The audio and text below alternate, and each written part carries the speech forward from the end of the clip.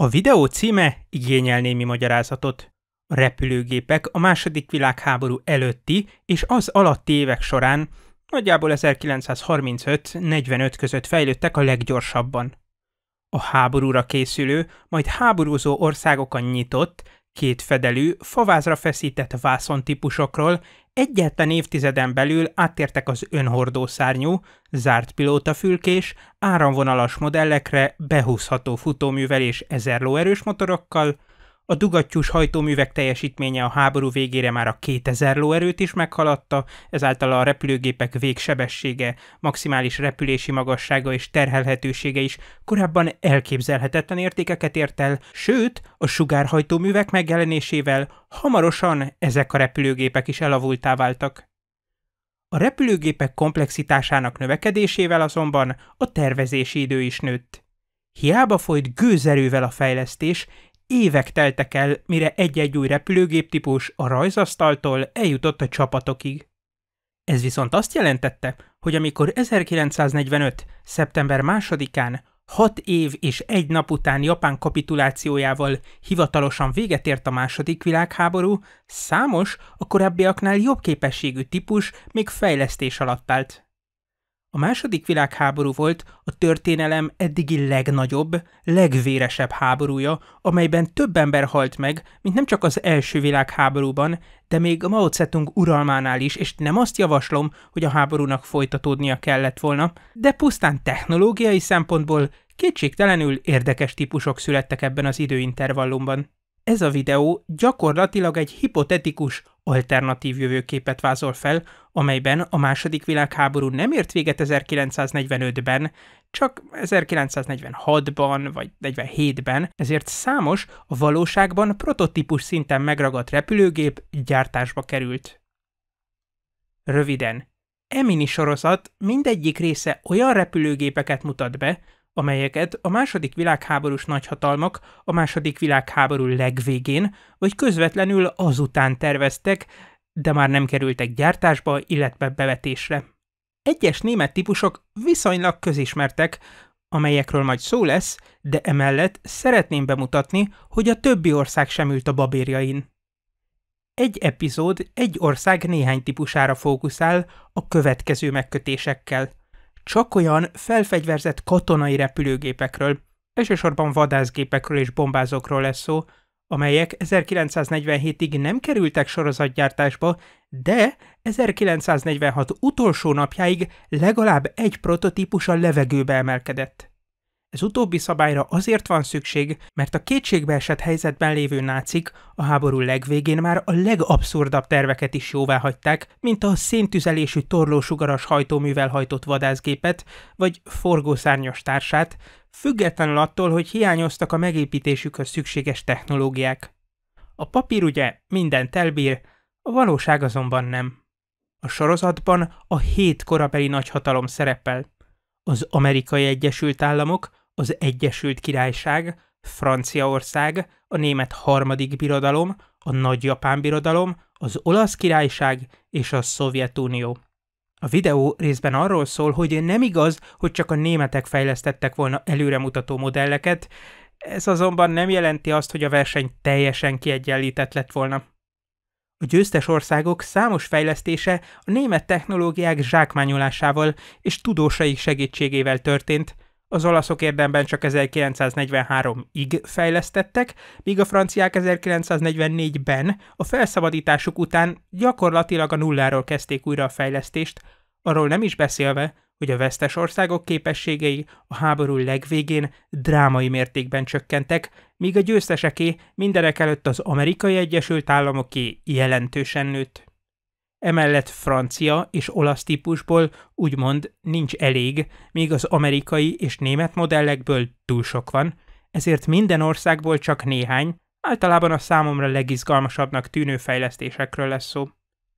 Ennyi bevezető után mindjárt rátérek a hétrészes sorozat első tagjára, de még annyit, hogy ezúttal a típusok neve fonetikusan lesz kiejtve. Kivéve amikor nem, most viszont jöjjön az első nagyhatalom, az olasz királyság. A legtöbb olasz repülőgépnek három problémája volt. Először is az ország 1943 végén, Mussolini hatalmát megdöntve átállt a szövetségesekhez, a németek viszont azonnal elfoglalták, majd az ország területén zajlott a második világháború, ezért 1943 végén gyakorlatilag megszűnt az olasz repülőgépfejlesztés. Emellett egyrészt az olaszok már ezt megelőzően sem juthattak külföldről nagy teljesítményű repülőgépmotorokhoz, ezért kénytelenek voltak a saját nagyméretű, de kis teljesítményű csillagmotorjaikra támaszkodni, másrészt, részben az előző pont miatt, minimális volt a repülőgépeik fegyverzete. Az ország egyetlen valódi nehéz vadászgépe, az Imamro 57-es például kettő darab nehézgéppuskát szállított, ami nagyjából nulla tűzerőt jelentett. A Benito Mussolini vezette olasz fasiszták célja egy új olasz nagyhatalom létrehozása volt az ókori római birodalom mintájára, amely uralja a földközi tenger teljes partvidékét, emiatt az elsődleges ellenfelek a franciák, görögök, britek és etiópok voltak.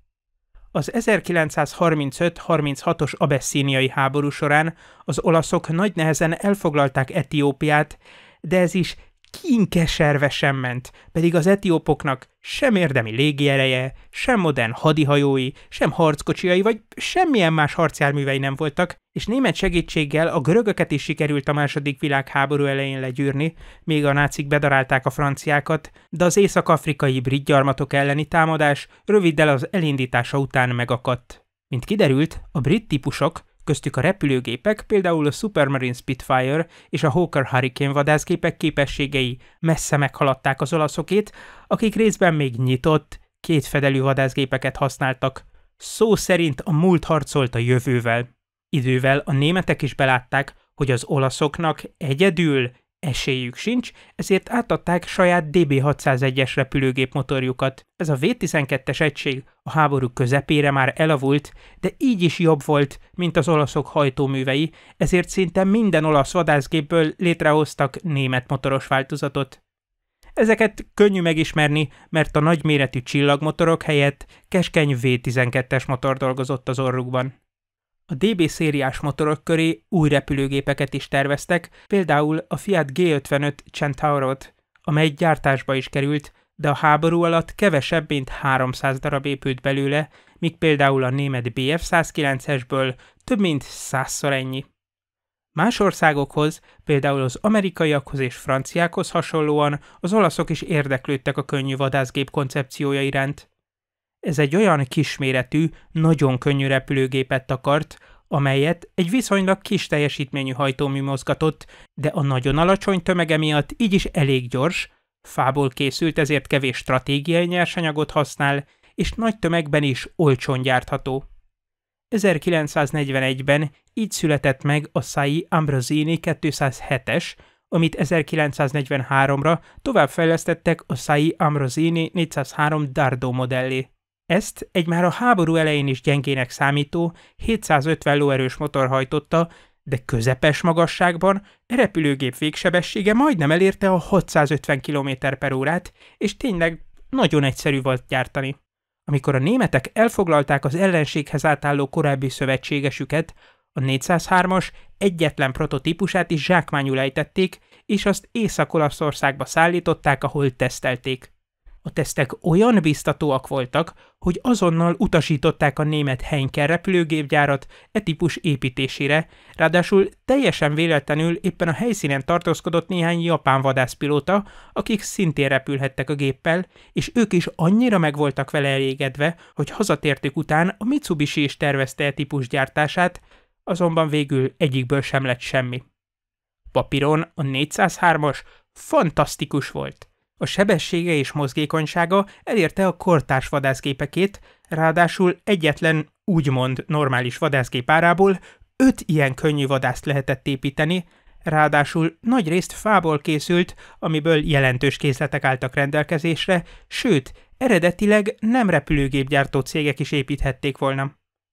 A valóságban azonban hiába próbálkozott több országe koncepcióval, sőt, a Kodron C-714-es képében a franciák be is vetettek ilyen könnyű vadászgépeket a második világháborúban, de egyetlen ilyen fából készült, kis teljesítményű motorral hajtott vadászgép sem vált sikeressé.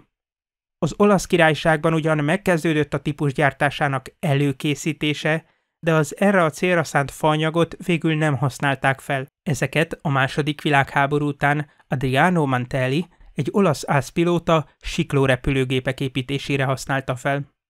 A legfejlettebb hagyományos olasz vadászgépek a Fiat G55-ösen alapuló G56-os, a Machi MC205-ösen alapuló MC206-os és a Reggian Re 2005-ösen alapuló Re 2006-os volt. Mindegyikben egy 1750 lóerős német DB603-as motor dolgozott, de ezek úgymond teljesen hétköznapi modellek voltak. Ennél egy fokkal érdekesebb a Piaggio P119-es, amely az említett típusoknál egy évvel korábban, 1942-ben repült először, és ennél az amerikai Bell P39 erre kobra vadászgéphez hasonlóan a motor a pilóta fülke mögé került, amelyet egy nagyon hosszú főtengely kötött össze az orba épített légcsavarral. A motor megfelelő hűtése és a pilóta jobb kilátásának biztosítása miatt a gép első szekcióját kismértékben megemelték, amitől oldalról úgy tűnt, mintha a gép kabinja véletlen feljebb csúszott volna, de a P119-es furcsasága ellenére nem volt kiemelkedően jó képességű. Kevesebb, mint 1500 lóerős motorja miatt teljesítménye nem volt jobb más kortás vadászgépekénél. Rosszabb se, de mivel nem biztosított semmilyen előnyt, ráadásul egyetlen egy héttel az olasz fegyverletétel előtt fejeződött be a tesztelése, a gyártására már nem került sor. Azért sem, mert a fegyverek tesztjénél erős rezgéseket észleltek, pedig a repülőgép mindössze egyetlen egy 20 mm-es gépágyúval és négy nehéz géppuskával rendelkezett. Az olaszok számos további típus terveztek, de ezek vagy teljesen szokványosak voltak átlagos teljesítménnyel, míg például a Savoia Marchetti SM93-as kisé hülyén nézett ki, ráadásul a pilóta szó szerint rajta hasonlt repülőgép motorján, de ezt leszámítva az SN93-as is teljesen átlagos zuhanóbombázó volt. Ha már szóba került a Savoia Marchetti, a cég SN88-as jelzéssel még 1939-ben kezdett tervezni egy kétmotoros nehézvadász repülőgépet, ami gyakorlatilag egy felnagyított amerikai P-39-es volt. Egy kétmotoros repülőgép, ahol a hajtóművek burkolata kettős farokrészben folytatódott, egyetlen közös vízszintes vezérsikkal és egy rövid, középre beépített törzsel, de együléses amerikai vetétársával szemben három üléssel. Az SM-88-ast az olaszok idővel továbbfejlesztették az SM-91-essé. Ez megtartotta az eredeti elrendezést, de egy új vadászbombázó kiírásra készült és nagyon brutális, 6 darab 20 mm-es gépágyúból álló fegyverzettel rendelkezett. Az SM-91-es 1943-ban a lefekvőbe emelkedett, de csak két prototípus készült belőle, mert közben elkészült egy másik, szintén az SM-88-ason alapuló nehézvadász, az SM-92-es, aminek a neve ellenére sem az SM-91-es, se a 93-as típushoz nem volt köze. Az SM-92-es megtartotta a két motort és a kettős farokrészt, de a repülőgép tömegét úgy csökkentették, hogy elhagyták a középső pilótafülkét, és a két főre csökkentett legénységet átköltöztették a baloldali motor mögé. A furcsa kialakítású SM-92-es így igen hasonlóvá vált a két BF-109-es vadászgép összeépítéséből létrehozott német BF-109Z-hez, viszont azzal szemben ezt eleve erre a célra fejlesztették. A németek engedélyezték az SM-92-es tesztelését, ezért az 1943. októberében, néhány héttel a német hatalmátvételt követően megtörtént, de sorozatgyártására már nem került sor, Ráadásul 1944 elején egy teszt alatt egy együléses olasz vadászgép pilótája a típust, a középső kabin hiánya ellenére összetévesztette egy amerikai P-39-essel és szitává lőtte. Az SM-92-es nagy nehezen el tudott menekülni, de súlyos sérüléseket szenvedett. Gyakorlatilag teljesen újra kellett építeni, azonban nem sokkal később a szövetségesek bombázásaiban végleg elpusztult. Az SM92-essel megint az a baj, hogy ez látszólag egy teljesen jó típus lett volna. 1943-ban, 1945-46-ban viszont már teljesen elégtelennek számított. Az amerikaiak a második világháború után Twin Mustang néven gyártottak egy két Mustang vadászgép összeépítéséből létrehozott repülőgépet, ez azonban nem 3000 lóerő alatti, hanem összesen 4500 lóerős teljesítményű motorokat kapott.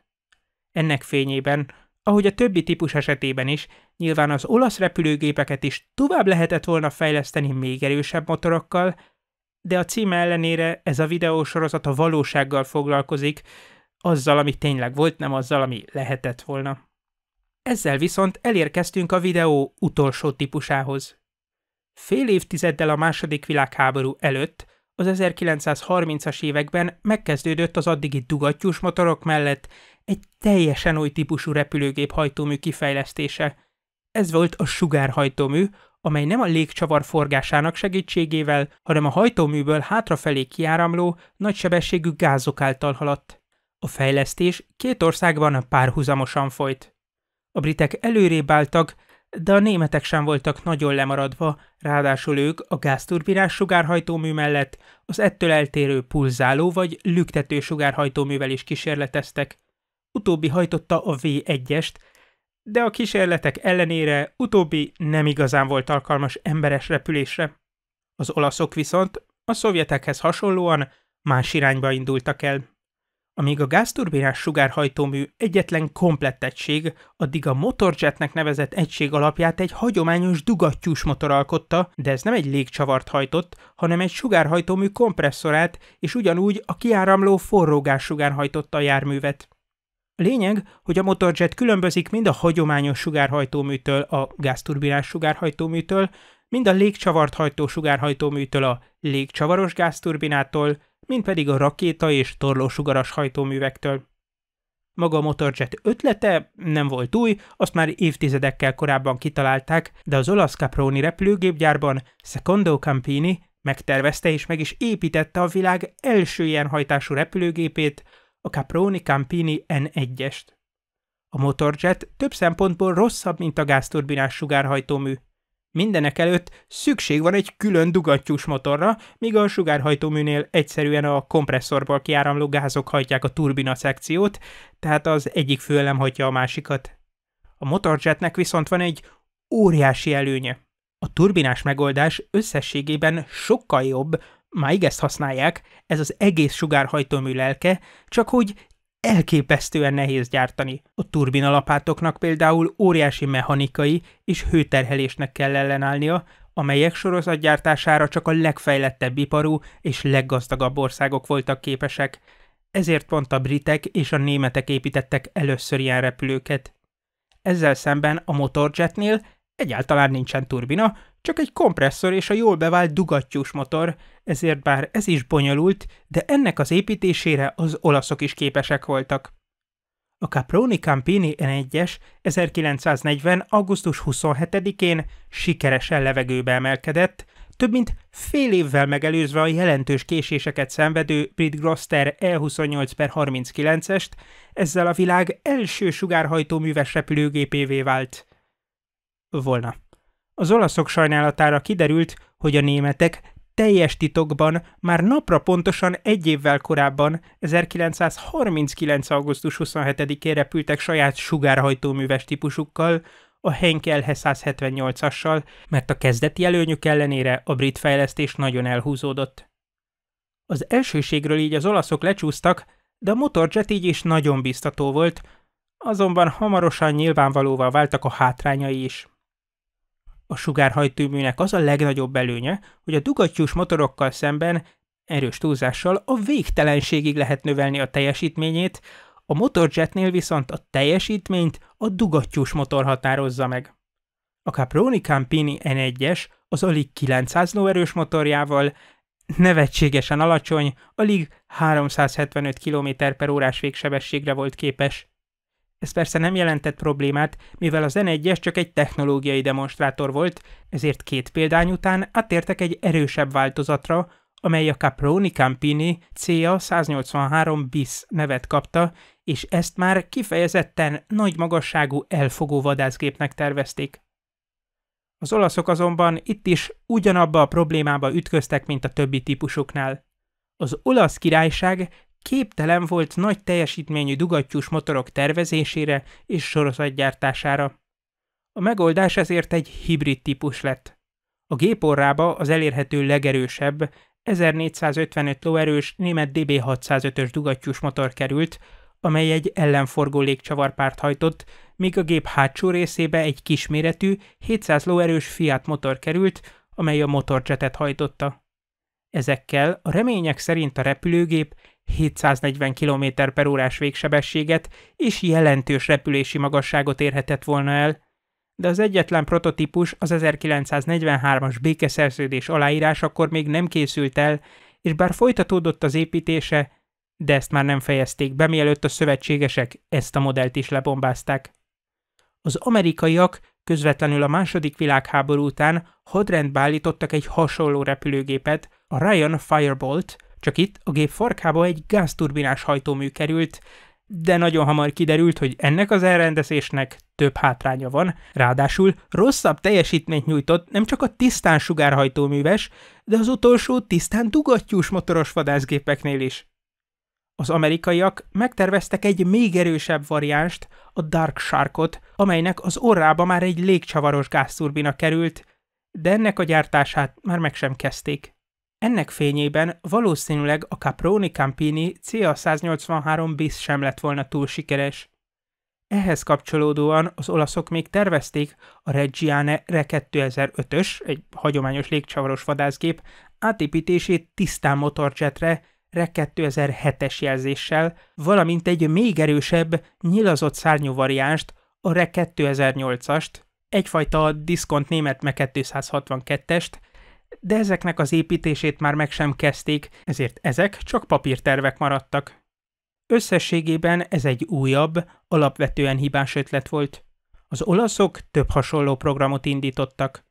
Mennyiségben nem tudtak versenyre kelni a brit és francia hadihajókkal, ezért újszerű ötletekkel próbálkoztak, mint a betonnal megerősített páncélzat, vagy a nagyon sok, nagyon olcsó torpedóvető motorcsónakok használata, de mindez, mind a hasonló motorjet és a könnyű vadászgépek terve a gyakorlatban nem vált be. A motorjet, mint a sugárhajtóművek olcsó alternatívája, papíron, ha nem is tökéletes, de megfelelő volt, de a gyakorlatban ehhez nagyon nagy teljesítményű dugattyús motorokra lett volna szükség. Olyanokra, amelyet csak azok a nagyhatalmak engedhettek meg maguknak, akik képesek voltak a gázturbinás sugárhajtóművek gyártására, így nem volt szükségük a motorjetre. Az olaszok így a remények ellenére a sorozatban szereplő hét nagyhatalom közül a leggyengébben szerepeltek. A sorozat következő, második részében Franciaország késői típusairól lesz szó, én már azonban megköszönöm a figyelmet.